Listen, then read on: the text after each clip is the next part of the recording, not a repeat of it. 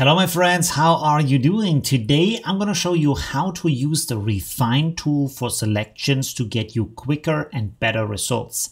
My name is Olivio, I'm a professional designer and I want to thank all of my patrons who support me and make these videos possible. Also, I'm back in Vienna, so please don't miss out on my Welcome Back live stream tomorrow on the 27th June 2021, 8 p.m. CEST and please write in the comments what kind of objects are you selecting the most. Let's get started with this tutorial. So as you can see here, we have a shoe that is red on a red background.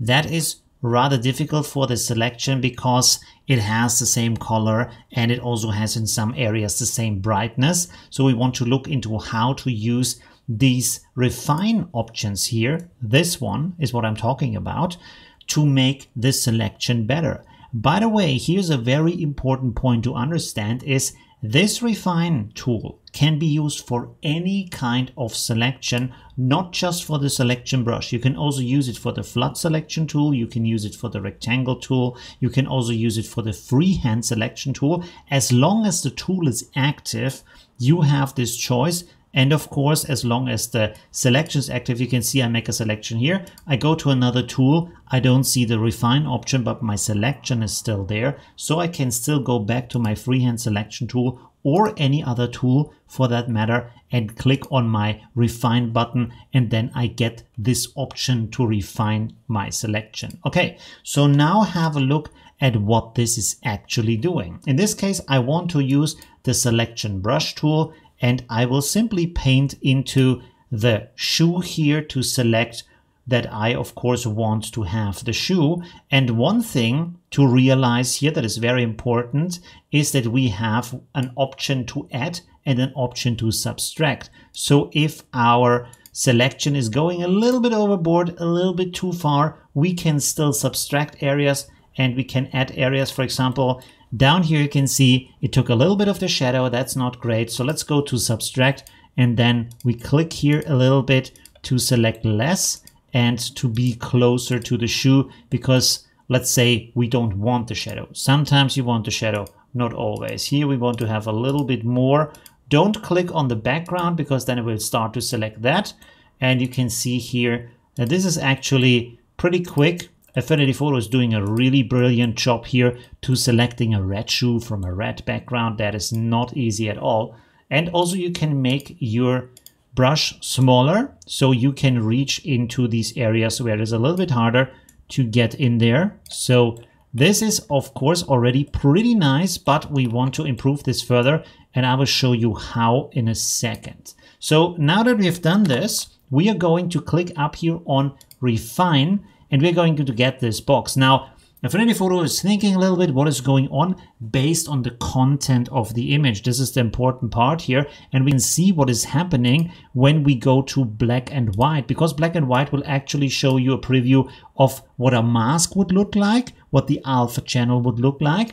And you can see here when we zoom in here, this is actually taking interest in the edge and how this is changing from the structure of the shoes. And when you go here, you can see that this is actually structure we are also finding in the image. Of course, this is not ideal for what we want to have in a selection because, and this is the important part here, is you have these preview selections. So you can say, how does it look on a black background?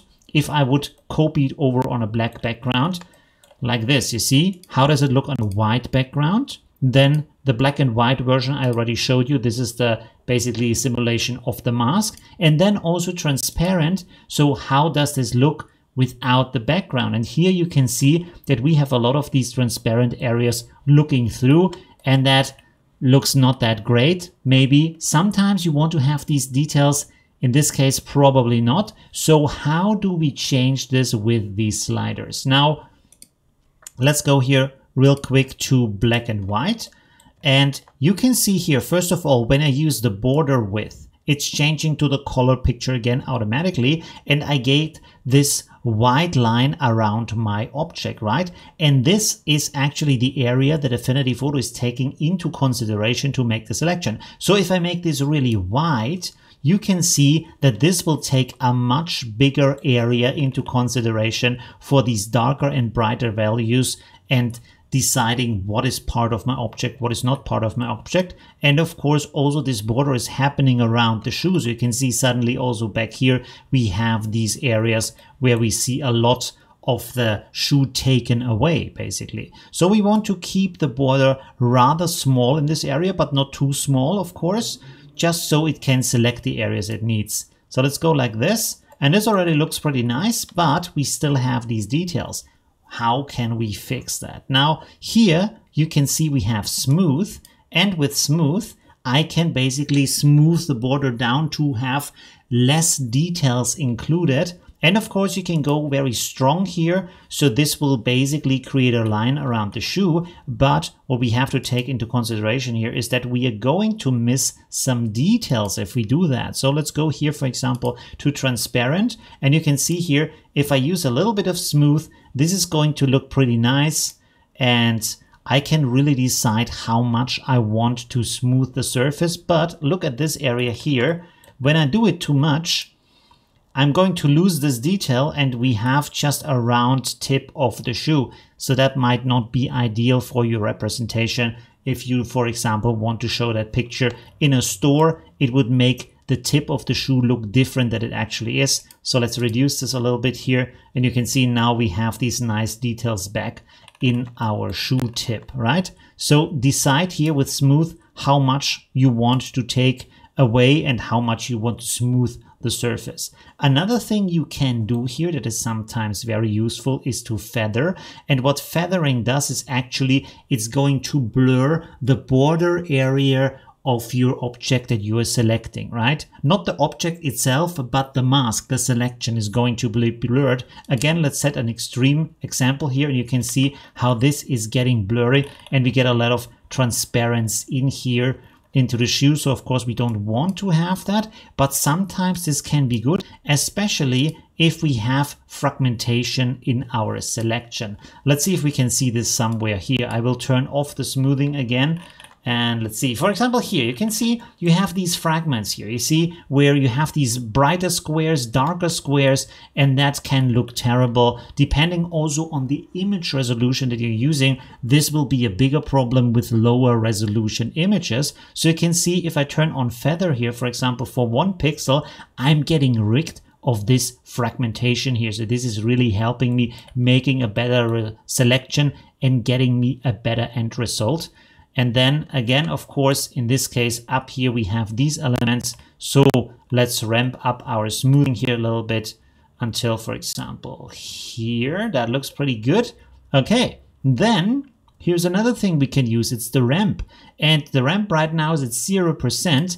I will go to transparent again to show you what it does. So if I set the ramp to minus 100, you can see that this is eating into the shoe. It's cutting into the object to take some elements away from that. If I go on the other hand in the other direction, plus 100%, then this is giving me more of the background, right? So I'm seeing, as you can see here, parts of the red background. Right now it's looking a little bit pink because it is transparent and we see this brighter checker pattern in the background. Now, what this does, what this can help you with is, for example, if you would have a darker border or a brighter border around your object while you are doing that selection. So with that, you can make your selection a little bit smaller, take away that bright border around it, take away that dark border around it, and get a really beautiful selection of your object without that border, right? So that's pretty helpful here. Of course, we still have our adjustment brush.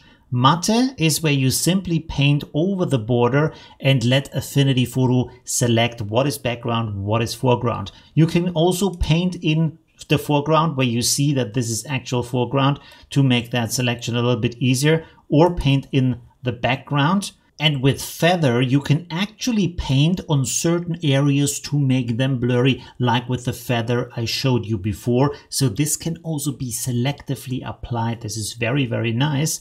And you can, of course, also set the size of your brush that you want to use here to do these adjustments. And here's the last part. This is really important, the output. Right now I've set it to selection. So when I click on apply, this will simply give me a selection. But you can also say, I want to have a mask as an output. I want to have a new layer or I want to have a new layer with a mask. Let's take the last one here to see what is happening. So I click on apply and this has created up here a new layer with a mask. You can see here I have still the original layer, so this is completely non-destructive. I can turn off the mask to get my original picture back, and I have a mask on top of that. And here is a last trick. When you hold control and click on your mask, this is selecting the area that is also selected inside of the mask. So this is how quick you can create a selection from a existing mask. Thank you very much for watching. Maybe if you like this video, subscribe to my channel, click the bell button, click the like button, leave a comment, all these cool actions. See you soon and maybe join my live stream tomorrow. Bye!